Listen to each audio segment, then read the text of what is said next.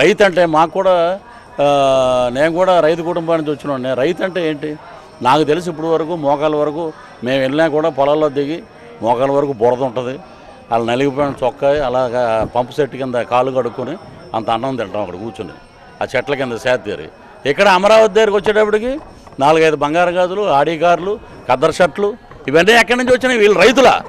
నాకు తెలిసి చాలా వరకు నేను ఈ థర్టీ ఇయర్స్ ఇండస్ట్రీ నేనేమో రిటైర్ అయిపోయి లేను. నేను ఇంకా యాక్ట్ చేస్తున్నా సినిమాల్లో.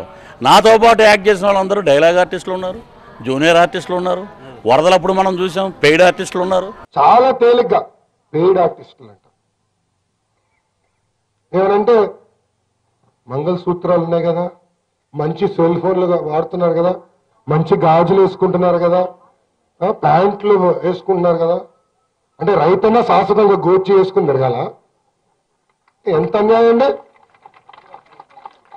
జగన్మోహన్ రెడ్డి గారు మీరు బంగారం తింటున్నారా డబ్బు తింటున్నారా అన్నదాత పండించింది మీరు ఈరోజు తింటున్నారని ఒక్కసారి మీరు గుర్తుపెట్టుకోండి Please subscribe Vishaka View channel. Hi friends, this is Avi.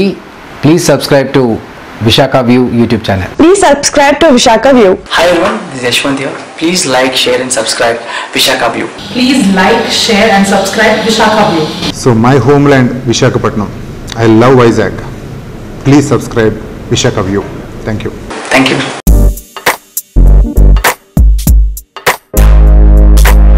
Hi అండి అందరికీ నమస్కారం లెజెండ్స్ కార్యక్రమానికి పది ఫిలింఫేర్ అవార్డులు చూడదగ్గ ప్రదేశాల విశేషాలు సుసంపన్నమైన ఆధ్యాత్మిక వారసత్వం ఆదర్శప్రాయులైన మహనీయుల స్ఫూర్తిమయ జీవిత చిత్రణ లెజెండ్స్